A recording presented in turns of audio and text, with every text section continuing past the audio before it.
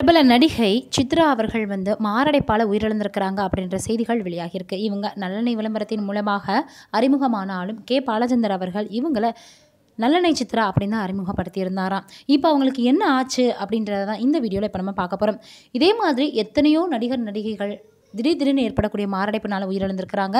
இப்போ அந்த வரிசையில் சித்ராவும் உயிரிழந்திருக்கிறாங்க. பிரபல நடிகையான நல்லனை சித்ரா அவர்கள் மாரடைப்பால் காலமாக இருக்கிறாங்க இவங்களுடைய வயது ஐம்பத்தி ஆறு. எண்பது தொண்ணூறுகளில் பிரபல நடிகையாக வலம் வந்தாங்க சித்ரா.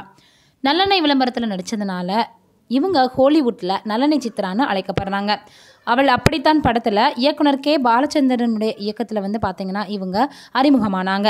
சேரன் பாண்டியன் ஊர்காவலன் என் தங்கச்சி படித்தவ வெள்ளையத்தேவன் உள்ளிட்ட முன்னூற்றுக்கும் மேற்பட்ட திரைப்படங்களை நக நடித்து புகழ் பெற்றாங்க. தமிழ் தெலுங்கு கன்னடம் மலையாளம் இந்தின்னு பல மொழிகளில் அசத்தி வந்த சித்ரா கடந்த ஆயிரத்தி தொள்ளாயிரத்தி தொண்ணூறாம் ஆண்டு திருமணம் செஞ்சுக்கிட்டாங்க. இவங்களுக்கு மகாலட்சுமி அப்படின்ற மகளும் இருக்கிறாங்க. திருமணத்திற்கு பிறகு திரையுலகை விட்டு விலகி இருந்த இவங்க பிக் பாஸ் சின்னத்திரை நடிகை சித்ரா தற்கொலை குறித்து பேட்டியளித்து மீண்டும் என்ட்ரி கொடுத்தாங்க.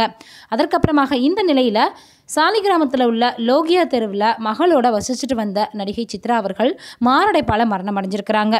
சித்ராவின் திடீர் மரணத்தை அறிஞ்ச திரையுலகினர் பலரும் இரங்கல் தெரிவிச்சுட்டு வந்துட்டுருக்காங்க இவங்களுடைய நல்லடக்கம் வந்து பார்த்திங்கன்னா அவங்களுடைய வீட்டில் வந்து நடக்கிறதாக தகவல்கள் வெளியாகியிருக்கு சாலிகிராமத்தில் இருக்கக்கூடிய அவங்களுடைய வீட்டில் வந்து பார்த்திங்கன்னா நல்லடக்கம் செய்யப்பட போகிறதாக தகவல்கள் வெளியாகியிருக்கு இதை தொடர்ந்து நிறைய நடிகர் நடிகைகள் அவங்களுடைய ஆழ்ந்த இரங்கலை தெரிவிச்சிட்டு வந்துட்டுருக்காங்க எதிர்பாராத விதமாக இப்படி எத்தனையோ பேர் வந்து பார்த்திங்கன்னா திடீர் திடீர்னு மரணத்தால் ரொம்பவே அகால மரணம் அடைஞ்சிடுறாங்க. இது ரொம்ப வேதனை தைக்கி தரக்கூடிய விஷயமாக தான் இருக்குது ஆனால் நினைத்து பார்க்கும்போது அவங்களுடைய நடிப்பும் நினைவுகளும் மட்டும்தான் நம்ம கையில் இருக்குது அப்படின்றது தான் உண்மை. நம்ம சேனலில் ஃபஸ்ட் டைம் பார்க்குறவங்களா இருந்தால் சப்ஸ்கிரைப் பண்ணிக்கோங்க. அப்படியே கீழே இருக்கக்கூடிய பெல் ஐக்கான் சிம்பிளை கிளிக் பண்ணி மறக்காமல் நோட்டிஃபிகேஷன் எனேபிள் பண்ணிக்கோங்க. அப்போ தான் நம்ம சேனலில் போடக்கூடிய அடுத்தடுத்த வீடியோக்கள் உங்களை வந்து சேர்ந்துக்கிட்டே இருக்கும்.